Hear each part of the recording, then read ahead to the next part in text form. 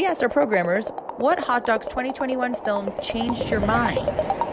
I thought I knew what this film was going to be about, and it really changed my mind, and that film is Sailor. The film that changed my mind at the festival this year is called All Light Everywhere. Uh, the film that did that for me this year is Dead Man's Switch, uh, Crypto Mystery.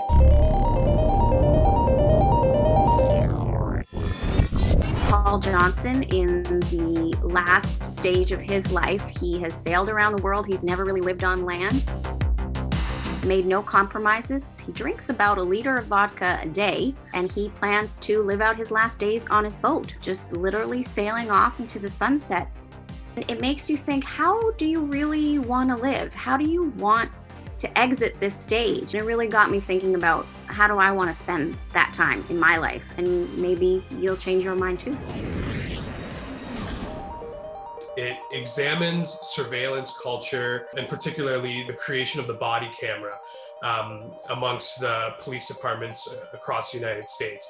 And I think that what this film really does that changed my mind is that this isn't an issue of not having enough footage of the events that happen. This is an issue that goes way deeper than that in terms of a systemic issue of racism within uh, police departments in the Western world.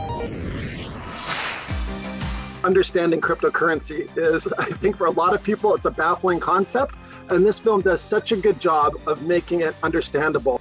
And this is a true crime story, very Canadian story, shocking at every twist and turn. It's the Wild West. I think for audiences who want to get a glimpse into what our future may hold and also a word of caution about where they put their money, uh, Dead Man Switch is a great film to watch.